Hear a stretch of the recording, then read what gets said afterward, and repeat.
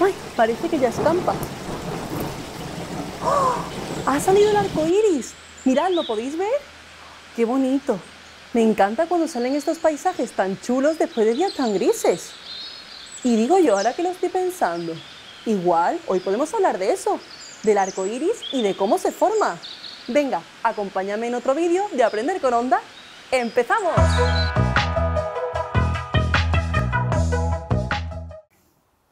Antes de nada, quiero que hagamos un experimento.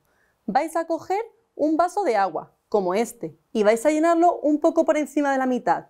Y ahora vamos a meter un lápiz dentro. ¿Qué es lo que está pasando? Exacto, el lápiz se ve como si estuviera partido, ¿verdad? Pues a este fenómeno lo llamamos refracción de la luz, es decir, que la luz se desvía cambiando la dirección de su camino. El vaso está funcionando como un prisma, y los prismas son objetos capaces de desviar la luz y descomponerla en colores. Exacto, como ocurre con el arco iris. Seguro que la mayoría de vosotros sabe que el arco iris sale en el cielo cuando llueve y por fin sale el sol, pero no sabéis explicar muy bien por qué. Pues primero tenéis que saber que la luz del sol no tiene color, por eso se le llama luz blanca, pero en realidad está compuesta por diferentes colores. Lo que ocurre es que cuando la luz atraviesa un elemento transparente, se desvía y se dispersa en siete colores distintos, como estáis viendo en esta imagen. Pues esto es lo que ocurre cuando la lluvia coincide con el sol. ¿Recordáis el vaso del experimento? Pues imaginaos muchos vasos como esos, pero pequeñitos, como si estuvieran dentro de las gotas de lluvia. Lo que ocurre es que la luz solar, en su viaje hasta la Tierra, tiene que atravesar esas gotas, y es entonces cuando se dispersa en los siete colores del arco iris. Pero para vuestra sorpresa, os diré que el arco iris no está en ningún sitio, sino que es una ilusión óptica.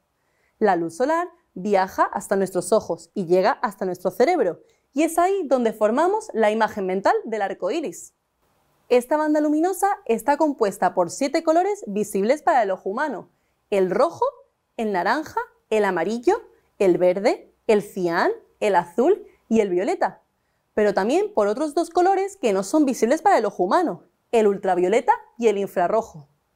Oye, ¿Y sabías que también se puede ver el arco iris por la noche?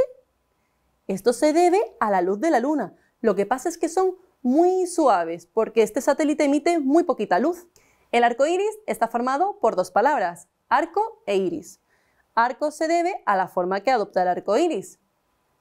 Y esto se debe a la forma que tiene la Tierra. Por eso lo vemos como una semicircunferencia.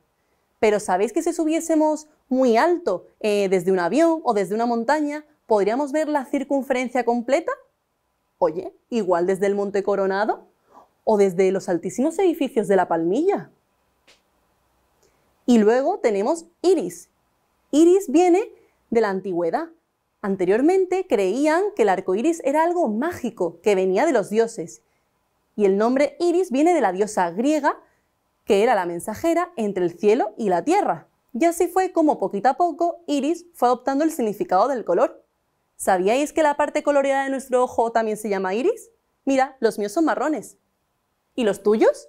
No fue hasta 1667 que con Isaac Newton se demostró que el arco iris no era nada mágico y desmintió todas estas leyendas, demostrando que era un fenómeno científico basado en la descomposición de la luz. Y ahora llegó mi parte favorita.